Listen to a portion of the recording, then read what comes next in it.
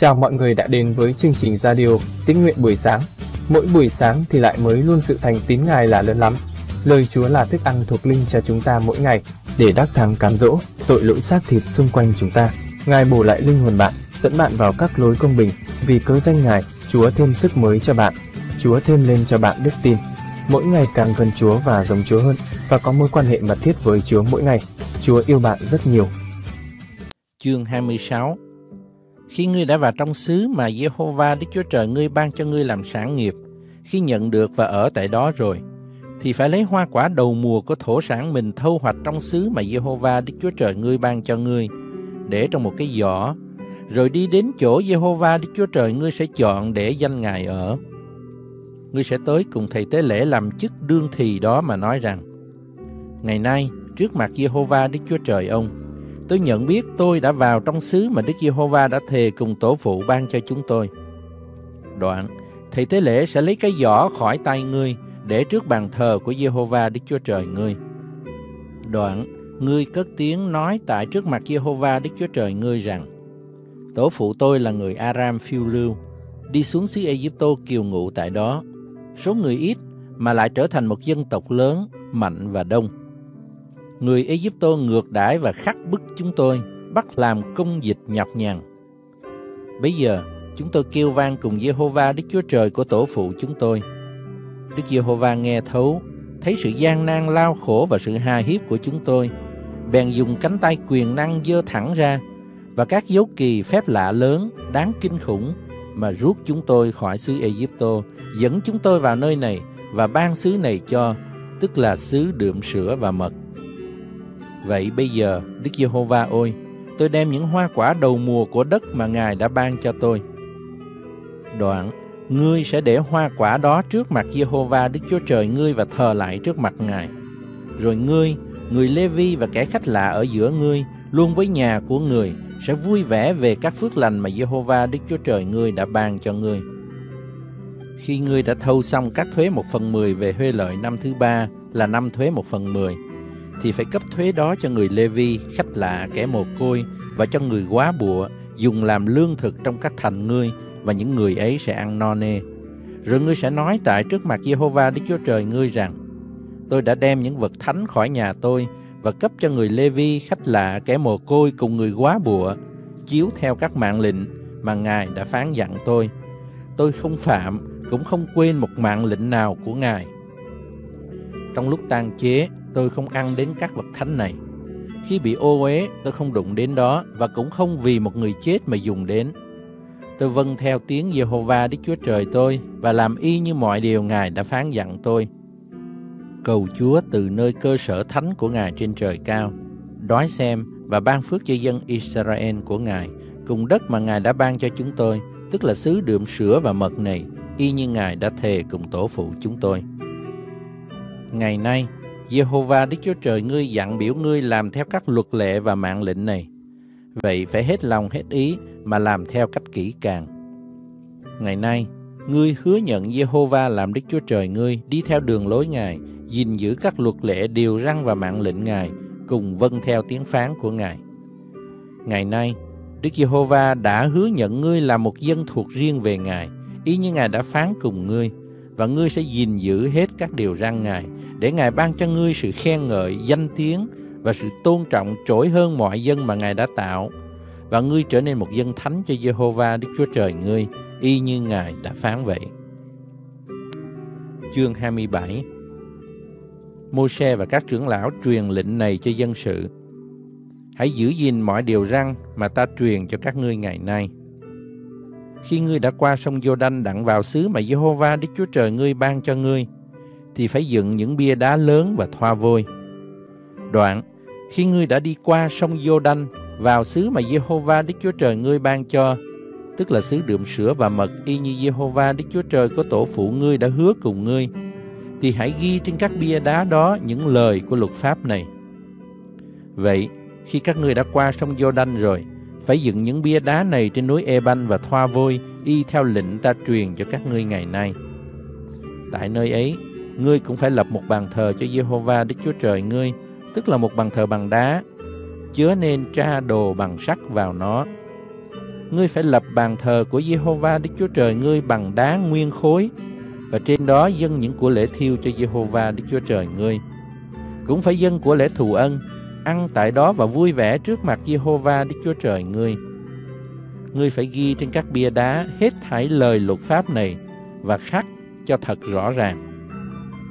Môi-se và những thầy tế lễ về dòng Lê-vi nói cùng cả Israel rằng: Hỡi Israel, hãy nín và nghe. Ngày nay, ngươi đã trở nên dân của Giê-hô-va, Đức Chúa Trời ngươi. Vậy, phải nghe theo tiếng phán của Giê-hô-va, Đức Chúa Trời ngươi và giữ theo những điều răn và luật lệ của Ngài mà ta truyền cho ngươi ngày nay. Ngày đó, Môi-se cũng truyền cho dân sự lệnh này. Khi các ngươi đi qua sông Giô-đanh rồi, thì Simeon, Levi, Juda, Isaka, Joseph và Benjamin phải đứng trên núi Garisim đặng chúc phước cho dân sự. Còn Ruben, Gad, Ashe, Sabulon, Dan và Nephtali phải đứng trên núi Eban đặng rủa xả. Người Levi sẽ cất tiếng nói lớn lên cùng mọi người nam Israel mà rằng Đáng rủa xả thay người nào làm tượng chạm hay là tượng đúc là vật gớm ghiếc cho Đức Giê-hô-va công việc bởi tay người thợ, dựng nó lên trong nơi kín nhiệm.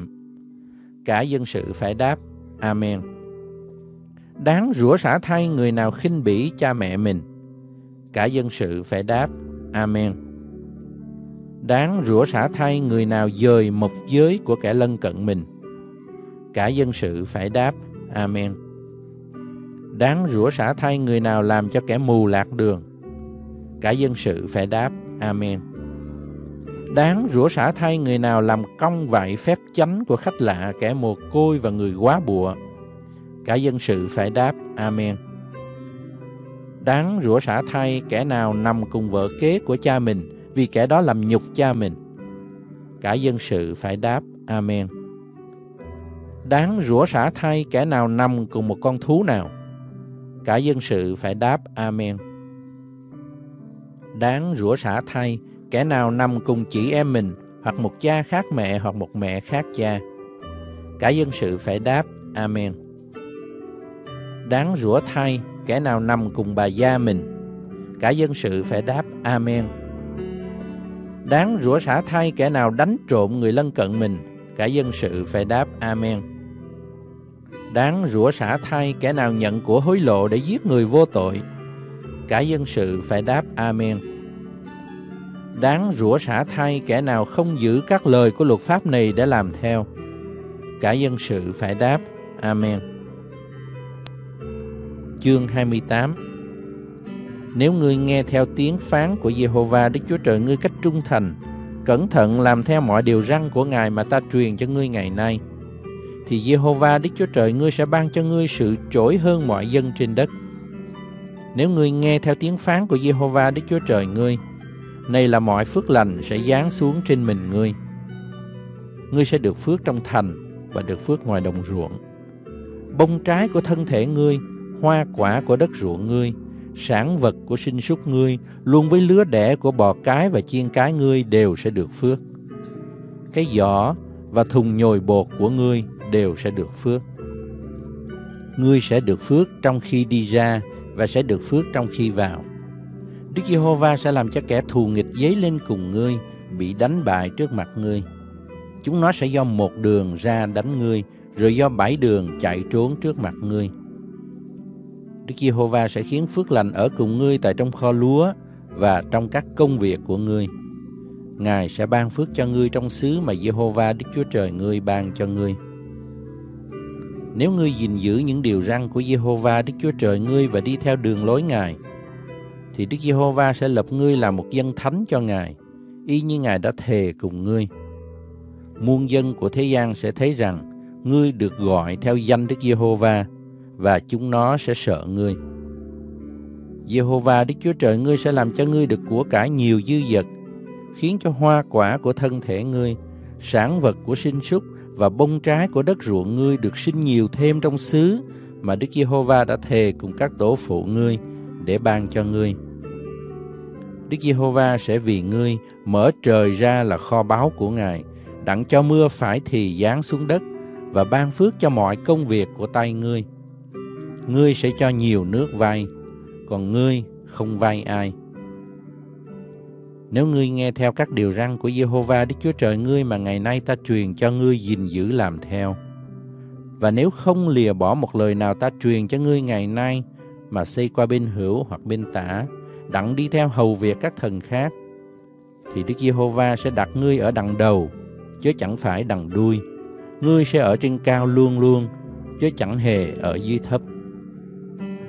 Nhưng nếu ngươi không nghe theo tiếng phán của Giê-hô-va Đức Chúa Trời ngươi, không cẩn thận làm theo các điều răn và luật pháp của Ngài mà ta truyền cho ngươi ngày nay, thì nay là mọi sự rủa xả sẽ giáng xuống trên mình ngươi và theo kịp ngươi. Ngươi sẽ bị rủa xả ở trong thành và ngoài đồng ruộng. Cái giỏ và thùng nhồi bột của ngươi cũng bị rủa xả. Hoa quả của thân thể ngươi, bông trái của đất ruộng ngươi, luôn với lứa đẻ của bò cái và chiên cái ngươi đều sẽ bị rủa xả. Ngươi sẽ bị rủa xả khi đi ra và lúc đi vào vì cớ ngươi làm điều ác và lìa bỏ Đức Giê-hô-va, nên trong mọi công việc ngươi bắt tay làm, Ngài sẽ khiến giáng cho ngươi sự rủa xả kinh khủng và hăm dọa, cho đến chừng nào ngươi bị hủy diệt và chết mất vội vàng.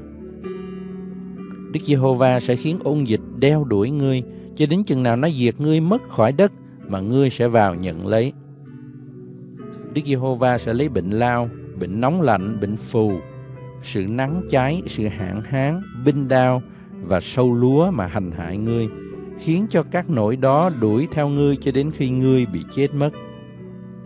Các tầng trời ở trên đầu ngươi sẽ như đồng, và đất dưới chân ngươi sẽ như sắt. Thay vì mưa, Đức Giê-hô-va sẽ khiến cát và bụi từ trời xa xuống trên đất ngươi, cho đến chừng nào ngươi bị hủy diệt. Đức Giê-hô-va sẽ khiến ngươi bị những kẻ thù nghịch mình đánh bại. Ngươi sẽ do một đường ra đánh chúng nó, rồi do bảy đường chạy trốn trước mặt chúng nó. Ngươi sẽ bị xô đùa đây đó trong khắp các nước của thế gian. Thay ngươi sẽ làm đồ ăn cho chim trên trời và thú dưới đất, không ai đuổi chúng nó đi.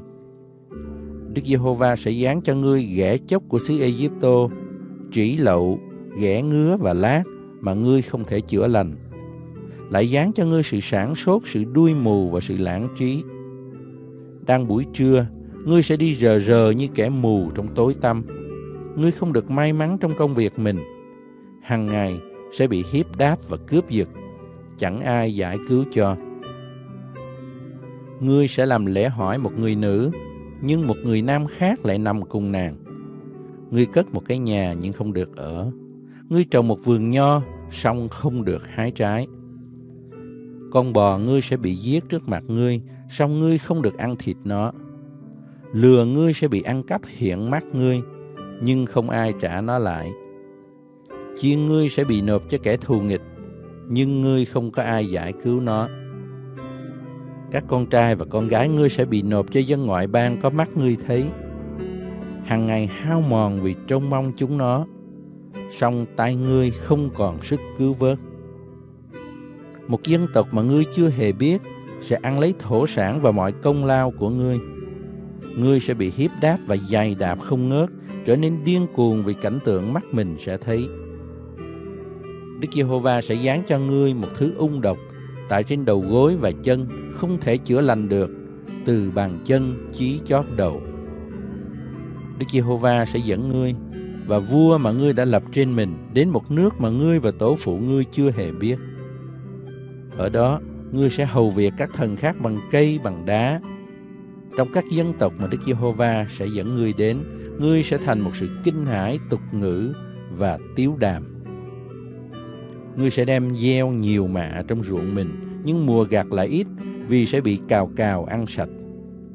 Ngươi trồng nho, song không được uống rượu và không gặt hái chi hết vì sâu bọ sẽ ăn phá đi ngươi sẽ có cây olive trong cả địa phận mình, nhưng lại không được sức dầu, vì cây olive sẽ rụng trái.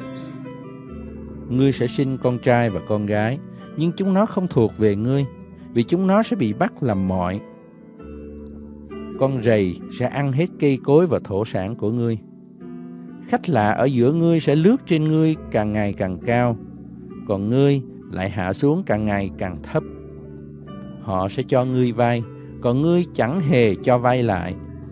Họ sẽ ở đằng đầu, còn ngươi ở đằng đuôi. Hết thảy những sự chúc rủa xả này sẽ dán trên ngươi, đuổi ngươi và theo kịp, cho đến chừng nào ngươi bị hủy diệt. Bởi vì ngươi không có nghe theo tiếng phán của Jehovah Đức Chúa Trời ngươi và không giữ các điều răn và luật lệ mà Ngài truyền cho ngươi. Các sự rủa xả này sẽ ở trên mình ngươi và trên dòng dõi ngươi như một dấu kỳ sự lạ đến đời đời. Bởi trong lúc dư dật mọi điều, ngươi không vui lòng lạc ý phục sự Jehovah Đức Chúa Trời ngươi. Cho nên trong lúc đói khát, trong lúc trần truồng và thiếu thốn mọi điều, ngươi sẽ hầu việc kẻ thù nghịch mà Đức Giê-hô-va sai đến đánh ngươi. Họ sẽ tra ách sắt trên cổ ngươi, cho đến chừng nào tiêu diệt ngươi. Đức Giê-hô-va sẽ từ nơi xa, từ địa cực, khiến giấy lên nghịch cùng ngươi một dân tộc bay như chim ưng, tức là một dân tộc ngươi không nghe tiếng nói được. Một dân tộc mặt mày hung ác, không nể vì người già, chẳng thương xót kẻ trẻ. Ăn sản vật của súc vật ngươi, hoa quả của đất ruộng ngươi, cho đến chừng nào ngươi bị tiêu diệt. Nó không chừa lại ngũ cốc, rượu, dầu hay là lứa đẻ của bò và chiên ngươi, cho đến chừng nào đã tiêu diệt ngươi đi. Dân đó sẽ vây ngươi trong các thành của cả xứ mà Jehovah Đức Chúa Trời ngươi ban cho ngươi, cho đến chừng nào những vách cao lớn và vững bền kia mà ngươi nhờ cậy đó sẽ bị ngã xuống. Trong lúc bị vây, và khi quân nghịch làm cho túng thế cùng đường, ngươi sẽ ăn hoa quả của thân thể mình, tức là ăn thịt của con trai và con gái mình mà Jehovah Đức Chúa Trời ngươi ban cho ngươi. Trong lúc ngươi bị quân nghịch vây tại các thành mình, làm cho cùng đường túng thế, người nam nào nhu nhược và yếu ớt hơn hết trong các ngươi sẽ ngó giận anh em mình, vợ yêu dấu và con cái mình còn lại, không chịu cho ai trong bọn đó thịt của con cái mình mà người sẽ ăn, bởi mình không còn chi hết trong lúc ngươi bị quân nghịch vây tại các thành mình, làm cho cùng đường túng thế. Người nữ nào non nớt và mảnh khảnh hơn hết trong các ngươi, vì sự yếu điệu hay là sự sắc sảo mình, vốn không đặt bằng chân xuống đất, sẽ nhìn giận chồng rất yêu của mình, con trai và con gái mình, bởi cớ nhau bọc ra từ trong bụng và những con cái mình sinh đẻ, vì trong cơn thiếu thốn mọi điều, nàng sẽ ăn nhẹm chúng nó. Nếu ngươi không cẩn thận làm theo các lời của luật pháp này ghi trong sách này, không kính sợ danh vinh hiển và đáng sợ này là Jehovah Đức Chúa Trời ngươi, thì Đức Giê-hô-va sẽ giáng cho ngươi và dòng giống ngươi những tai vạ lạ thường lớn lao và lâu bền, những chứng độc bệnh hung. Ngài sẽ khiến dán trên ngươi các bệnh hoạn của xứ Egypto mà ngươi đã run sợ đó, và nó sẽ đeo dính theo ngươi. vả lại, các thứ chứng bệnh và tai vạ không có chép trong sách luật pháp này, thì Đức Giê-hô-va cũng sẽ khiến dán trên ngươi cho đến chừng nào ngươi bị tiêu diệt đi.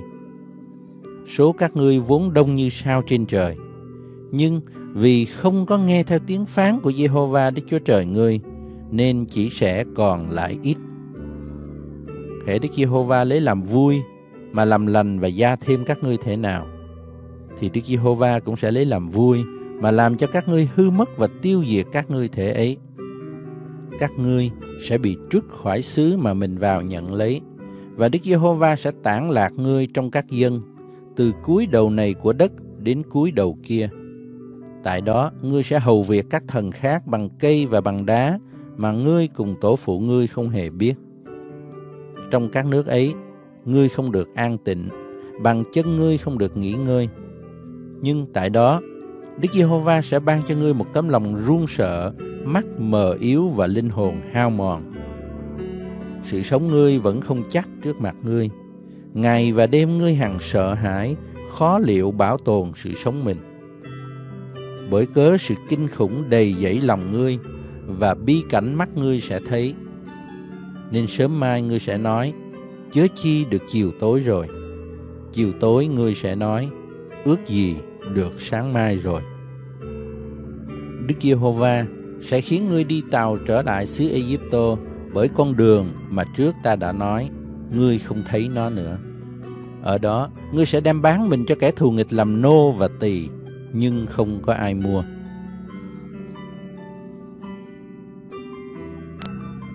Thơ của Jude Jude, tôi tớ của Đức Chúa Giêsu Christ và em gia cơ, đạt cho những kẻ đã được kêu gọi, được Đức Chúa Trời là Cha yêu thương và được Đức Chúa Giêsu Christ giữ gìn. Nguyện xin sự thương xót, bình an, yêu mến thêm lên cho anh em. Hỡi kẻ rất yêu dấu, vì tôi đã ân cần viết cho anh em về sự cứu rỗi chung của chúng ta. Tôi tưởng phải làm điều đó để khuyên anh em vì đạo mà tranh chiến là đạo đã truyền cho các thánh một lần đủ rồi. Vì có mấy kẻ kia lẻn vào trong vòng chúng ta là những kẻ bị định đoán phạt từ lâu rồi. Kẻ chẳng tin kính, đổi ơn Đức Chúa Trời chúng ta ra việc tà ác, chối đấng chủ tể và Chúa có một của chúng ta là Đức Chúa Giêsu Christ. Dầu anh em đã học những điều này rồi, tôi cũng muốn nhắc lại cho anh em rằng, xưa kia Chúa giải cứu dân mình ra khỏi xứ Egypto, sau lại tiêu diệt những kẻ không tin. Còn các thiên sứ không giữ thứ bậc và bỏ chỗ riêng mình, thì Ngài đã dùng dây xích họ trong nơi tối tăm đời đời, cầm giữ lại để chờ sự phán xét ngày lớn. Lại như thành Sodom và Gomorrah cùng các thành lân cận cũng buông theo sự dâm dục và sắc lạ, thì đã chịu hình phạt bằng lửa đời đời, làm gương để trước mặt chúng ta. Nhưng mà chúng nó cũng như vậy. Trong giấc mơ màng, làm ô uế xác thịt mình, khinh dễ quyền phép rất cao và nói hỗn các đấng tôn trọng. Và khi chính mình thiên sứ trưởng Michel chống với ma quỷ giành xác Môi-se, còn chẳng dám lấy lời nhiếc móc mà đoán phạt, người chỉ nói rằng cầu Chúa phạt ngươi. Xong, những kẻ này, hễ điều gì không biết thì khinh dễ hết, và mọi điều chúng nó tự nhiên mà biết, cũng như con thú vật vô tri, thì dùng mà làm hư mình. Khốn nạn thay cho chúng nó vì đã theo đường của Cain, lấy lòng tham lợi mà gieo mình vào sự sai lạc của Balaam và bị hư mất về sự phản nghịch của Kore. Những kẻ đó là dấu vết trong đám tiệc anh em. Như người chăn chiên chỉ tưởng nuôi mình cho no nê, không lo sợ gì. Như đám mây không nước, theo gió đưa đi đây đi đó. Như cây tàn mùa thu, không có trái, hai lần chết, trốc lên bực rễ. Như sóng cuồng dưới biển, sôi bọt ô uế của mình. Như sao đi lạc, sự tối tăm mù mịt đã dành cho chúng nó đời đời. Ấy cũng vì họ mà Henoch là tổ bảy đời kể từ Adam đã nói tiên tri rằng Này, Chúa ngự đến với muôn vàng thánh, đặng phán xét mọi người, đặng trách hết thảy những người không tin kính về mọi việc không tin kính họ đã phạm, cùng mọi lời sỉ hổ mà những kẻ có tội không tin kính đó đã nói nghịch cùng Ngài.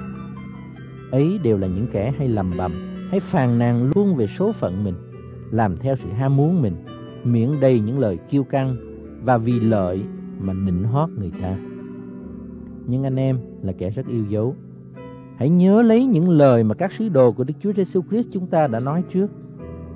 Các sứ đồ đó nói với anh em rằng trong các thời kỳ sau rốt sẽ có mấy người hay nhạo báng làm theo lòng ham muốn không tin kính của mình. Ấy chính chúng nó là kẻ gây nên phe đảng thuộc về tánh xác thịt, không có Đức Thánh Linh. Hỡi kẻ rất yêu dấu, về phần anh em, hãy tự lập lấy trên nền đức tin rất thánh của mình và nhân Đức Thánh Linh mà cầu nguyện. Hãy giữ mình trong sự yêu mến Đức Chúa Trời và trông đợi sự thương xót của Đức Chúa Giêsu Christ chúng ta cho được sự sống đời đời. Hãy trách phạt những kẻ này là kẻ trù trừ. Hãy cứu vớt những kẻ kia, rút họ ra khỏi lửa. Còn đối với kẻ khác, hãy có lòng thương lẫn với sợ, ghét cả đến cái áo bị xác thịt làm ô uế.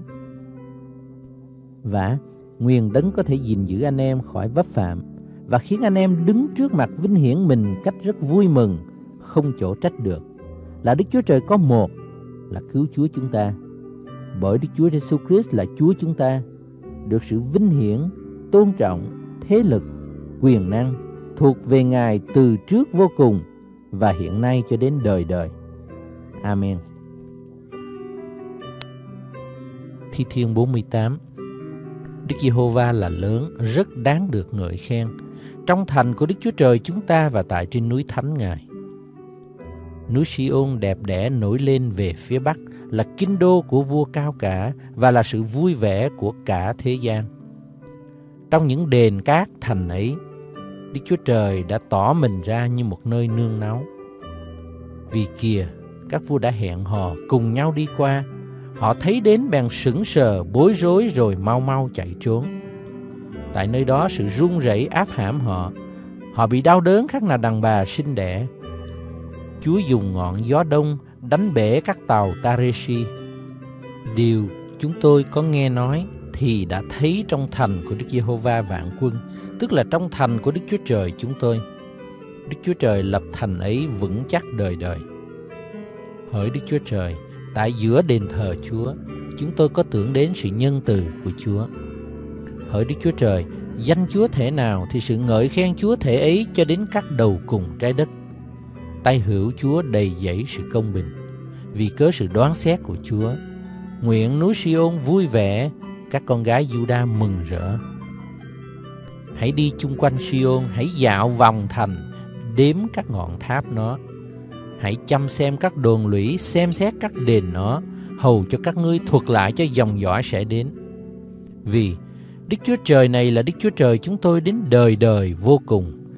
Ngài sẽ dẫn chúng tôi cho đến kỳ chết. Cảm ơn Chúa lời của Ngài bày tỏ cho con. Thì giờ này chúng ta đến với Chúa trong sự cầu nguyện. Xin Thánh Linh Chúa, hãy bày tỏ cho con biết Ngài dạy dỗ hay ấn chứng cho con điều gì qua lời của Ngài. Xin lời của Ngài được linh hồn con ăn nuốt vào trong tấm lòng và tâm trí của con mỗi ngày thêm lên lời của Ngài, để linh hồn con được tăng trưởng, thêm lên đức tin đặt để nơi Ngài. Xin Chúa cho con biết về Ngài nhiều hơn và con khát khao mối quan hệ mật thiết với Ngài nhiều hơn. Lạy Chúa con cảm ơn Ngài, mỗi ngày mới ngày ban cho con hơi thở để tiếp tục sống trên đất này.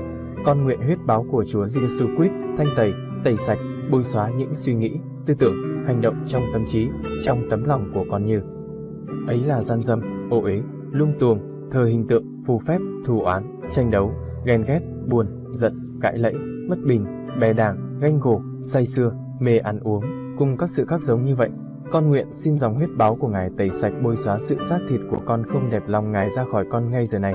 Bây giờ con được thánh sạch đứng trước mặt Ngài. Chúa ơi xin hãy cáo trách và thanh tẩy khi môi miệng con nói điều dơ giấy không đẹp lòng Ngài. Xin Chúa hãy thêm sức và hướng dẫn con ăn, hoặc uống, hay là làm sự chi khác, hãy vì sự vinh hiển Đức Chúa Trời mà làm. Xin Chúa thêm lên cho con đức tin để mỗi ngày con trong cậy nơi Chúa càng hơn. Xin Chúa thêm lên sự sức giàu trên con để con bày tỏ danh của Ngài trên chính đời sống hàng ngày của con, để con như muối của đất, ánh sáng của thế gian. Con nguyện Thánh Linh Đức Chúa Trời đổ đầy, đầy dẫy con Chúa ơi, những bông trái của Thánh Linh, ấy là lòng yêu thương, sự vui mừng, bình an nhịn nhục, nhân từ, hiền lành, trung tín, mềm mại, tiết độ đầy dẫy trên con. Con xin Chúa thêm sức mới, thêm đức tin cho con. Xin Chúa dẫn dắt con để con đắc thắng một ngày mới trong ngày. Con cảm ơn Chúa, con dâng mọi vinh hiển tôn quý lên ba ngôi Đức Chúa Trời toàn năng, và phước hạnh con nhận lãnh từ nơi Ngài. Và con thành kính dâng lên cha lời cầu nguyện trong danh Chúa Giêsu Christ. Amen. Cảm ơn bạn đã lắng nghe. Xin Thánh Linh Chúa cho sứ điệp này để khích lệ thêm động lực bạn bước đi với Chúa mỗi ngày. Mọi đóng góp, ý kiến hay góp phần dâng hiến cho chương trình, xin gửi về gmail, dưỡng linh cơ đốc 2020 a gmail.com. Bạn ủng hộ chương trình bằng cách chia sẻ chương trình rộng rãi trên mạng internet, cộng đồng xã hội. Hẹn bạn dưỡng linh hàng ngày tiếp theo. Chúa yêu bạn rất nhiều.